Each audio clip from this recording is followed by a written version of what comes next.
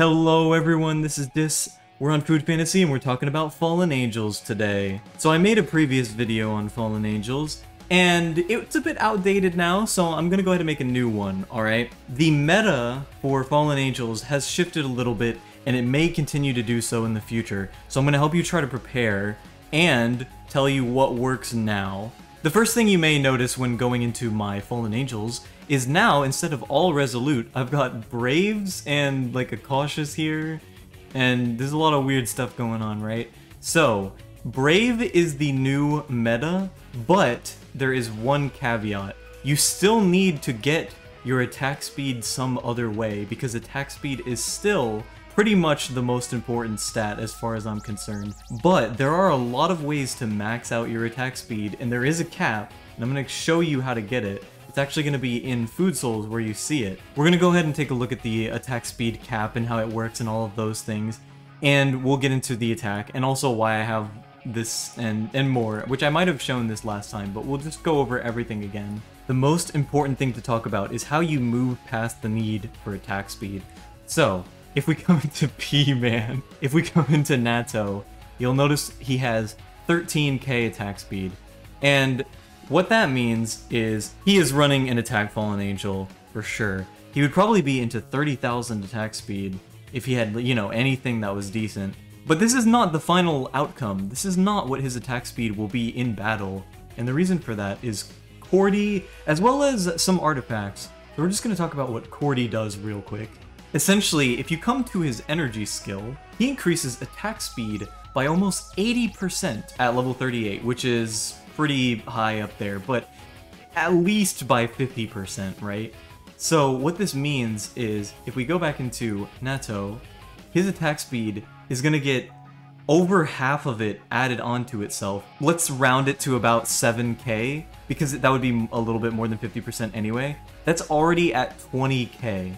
I believe the max is around 26 or 28k, so we've only got 8 more k, plus uh, he's gonna be getting the, he's, I'm, well, I'm gonna be getting more than, than that. I'll probably be getting maybe 8 or 9,000, which will boost me up even higher. So let's say Natto is now at 23k attack speed, and we're trying to get like 26 or something like that. If we come into Candy Cane's artifact, boosts attack speed by 4,000 1,900 points on T1 for two random allies. So it could potentially increase his attack speed to maximum just from hers. And she is not the only person who increases attack speed. And of course, my Togi is only level 6. If I leveled it up, it would give me even more points, which would which would be insane. Literally well over the cap with this.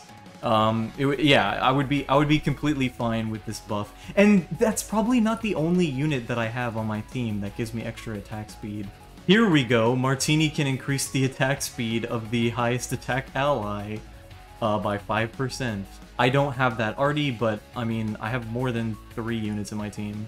So someone like Spork has attack speed built into their kit where they boost it themselves for 53%.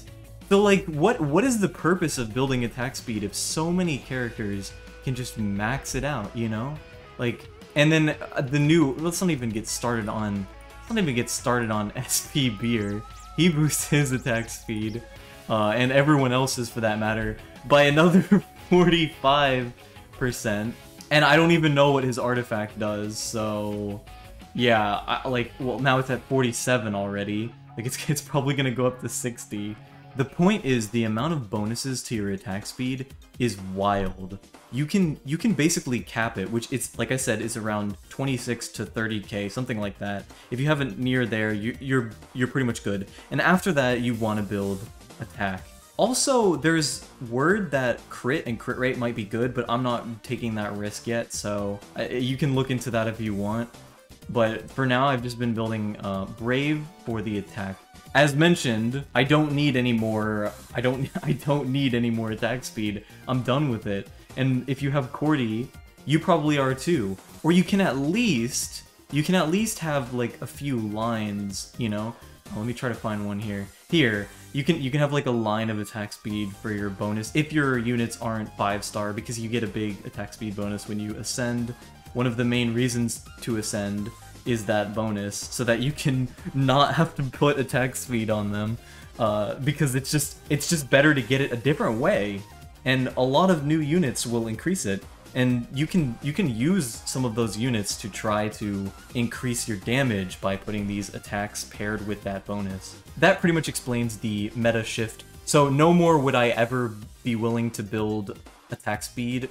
That would only be something I would do if I did not have Cordy or I was missing a lot of characters. But now that I, if you have them, there's there's literally no reason to go for this right now. It's all Brave. In fact, you can actually check and see what people are using. So if you come here to the world boss and check like first place, um, yeah, they're using all Braves on probably everyone. Brave, Brave. This one is attack speed, but it's probably because there is no good other uh, thing for them to put on. And another Brave. It's literally, with one line, it's literally all Brave, every time.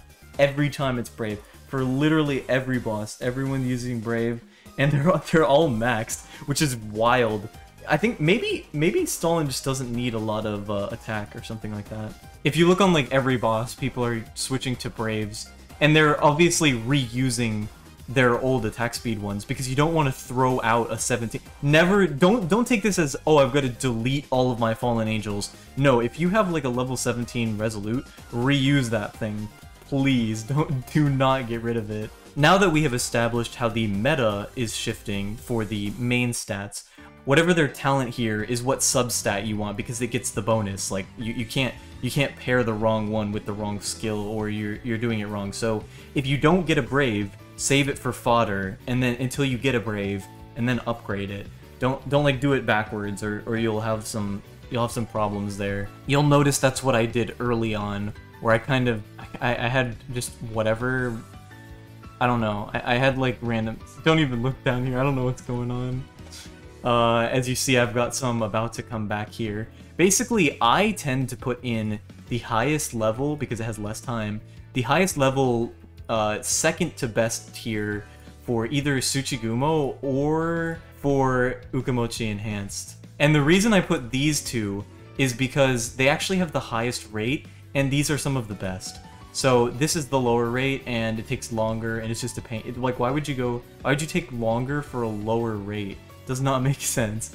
Uh, even though it has this one, I'm I'm still focusing these for now. So essentially, I'll elect to do these. I want Tsuchigumo right now for my Martini's artifact. I really need to get this up as fast as I can. What I do is when I have enough, I spend a little bit of evolution stones, try to upgrade the one that I'm focusing on, and I can actually go ahead and try here for a 5% chance. Of course I didn't get it. And once it hits this end part, I'm guaranteed to get it. It gives me 55 at this level out of a 1,000, and it will decrease upon each enhancement closer to 20 10 to 20 is a whole different beast from from uh, 1 to 10. 1 to 10, they are purple, at least the good ones. You do not want to level up any of these commons. These, none of them are actually worth it. You only want to go for the purple ones, but pretty much all of the purple ones have at least one character, besides maybe like this one. Uh, yeah, I don't, I don't, maybe if you're going for Boston or something, you could probably uh, maybe Soba is, is good too for that, but not really anyone else. So I'm gonna go ahead and claim, see what I can do. This will be it. Oh wow, I got two! That is nice. That rarely ever happens. But, I mean, it has to happen at some point, because it is a 7% chance, which isn't that bad. Uh, but basically, I'm just going to purify five of them, and it's 25 minutes, which is nothing. But I do have the, uh, the yearlies again, I, I'm sorry, I wailed for just the yearlies. It's too valuable. I couldn't couldn't pass it up this time. But I think it'll be maybe like an hour without it, which is still a great time. There's no way I claim this every 25 minutes. I, I it's literally impossible. It is impossible to check this game that much. I would not do that. And this water thing, it's kind of dumb. There's no there's no reason to do it unless you're you're trying to specifically get a certain nature. You can you can create these like um, synthetic materials to put to put in. Uh, let me just water so I can show you. I don't even have any, but you create these synthetic materials that have that give you a higher chance of getting a brave, but or like whatever you want, like a Resolute or a Brave, but I, I don't care anymore. I've already got them all, and if you just if you just sit here and put a bunch of them in, you'll you'll get all of the natures that you want anyway. So now let's talk about smelting. If all of your Fallen Angels are level 30 and they're completely maxed out, all of them you're happy with like me, then you're good to go. If not, you're going to want to level them up by just, you know, going in, let's say, let's say you want, uh, yeah, here's a Brave. Let's say you want the Brave. You're going to go in here, just upgrade with all of your commons or whatever until you get to level 30. In order to do that, you're going to want to come here to some of your less good uh, spirits here and just awaken them all. And they added this nice feature where you can do up to 99. You used to have to do like 10 at a time or some random crap. Now you can do 99, which is awesome. And you just do that, and then on your bad ones. Don't do it on the good ones. Uh, unless you have way too many like I do. But it, do it on the bad ones, then level then level them up to level the ones that you want, of course, to level 30. And then after that, you're not going to want to awaken them anymore. And instead, you're going to want to smelt them all. And basically what you do is you click filling all and you you can just click on all the ones that are level 1 like this. So all the ones that are level 1, th these are all the ones that only give commons. I'm pretty sure level 2s give commons and rares. And then level 3s is where it starts getting good, so you don't really want to give any of those up, you know. But these all can go. And I'm gonna get a lot of materials here. So I had I had maybe 10 left or something. I had 10 left. Now I'm rolling in them. How many do I actually have now? Let's see. I went from 10 to 290 just from like maybe a few maybe maybe like a month of doing my catacombs kind of a little bit sometimes. I don't really do it that hardcore. You don't have to you don't have to sweat super hard in catacombs to get a bunch of stuff that you can use for fallen angels. And then mirrors are always a good pickup. Mirrors are replacement for copies so that you can hit this 18 requirement for for this one specifically just to keep trying to get that level up. I, I need them really bad and to get these Braves. And then maybe someday we're gonna need the the crit rate ones or the crit damage ones. I don't know. And I hope that I'm prepared. I hope that I have my my full team of level 20s before that. I don't, I don't know. We'll see. I forgot to mention you can lock your your fallen angels that you really like here. That's a good feature. And I'm pretty sure this is the delete button. Another quick tip you can do is if you have any commons that you don't want, which the reason you'd want them would be to feed them to get level 30. And sometimes you need that for events, so don't get me wrong, it is nice to have them, but I I just I like I have too much. I have to clear them out. So I click this release button, release all, and then white and blue.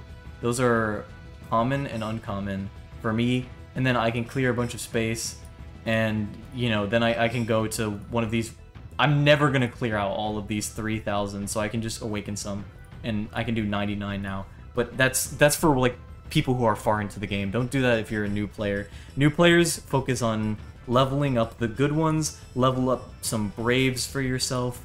If you want level if you're if you don't have Cordy, you don't plan on getting him for some reason or you just don't have a lot of artifacts, maybe you want some resolutes, but in the beginning anyway, I don't know. And then you want to have your one tank, one or two tank fallen angels for the catacombs. This is what I use this one for. Uh, Oyster really needs a lot of HP and defense, and it's bad out there. It's real bad out there. I, am getting owned in catacombs. Even though he's five star and everything, it doesn't matter. It's still it's still too hard. If you want to know what I'm to be focusing on just to know that like you're on the same page as me, if you're like, you know, if you have Cordy and everything, I'm to be doing my Braves for... This one is really easy to level up as it's not Tsuchigumo or Ukemochi enhanced. That's why it's so high, because I just went in here and I just like, wherever they were, uh, is it, it's this one, right? Yeah, I just, I didn't like awaken all, that's why I have 300, but like 5,000 of these. I awakened them all and just used those to level this one up. Same with this one. But Natto actually needs this one. A key difference between Resolute and Brave is that Tsuchigumo Enhanced and Ukemochi Enhanced are both the best Fallen Angel for attack speed, regardless. They, they both are tied. They have a higher scaling than any of the other ones, even if it's their pairing. For example, Natto pairs with Spectra, so you'd want to run him for attack, but never attack speed, which this really helps you get some extra good fallen angels here since you can go awaken some of these niche ones here. Also, if you want to see who some of my fallen angels are on, we've got Dragon's Beard here, we've got Spork at this one, Natto at this one, Oyster here. This one is first uh, Top Showdown, or Sky, whatever, no, it's, yeah, Top Showdown. Martini's really needs to be higher because he does a lot of damage, so I wish his was better, but it's it's not, tragically. Then we've got SP Rice, also for Top Showdown. This is the placeholder. I'll probably be changing that soon. And we've got Candy Cane on a Brave here, of her type. Souffle peeking. These are relics of an old time. And then Cordy, which probably should be leveled up and should be locked. What am I doing? And the rest are kind of like, I don't even know, like, what is on Hamburger? What is going on here? What, what happened?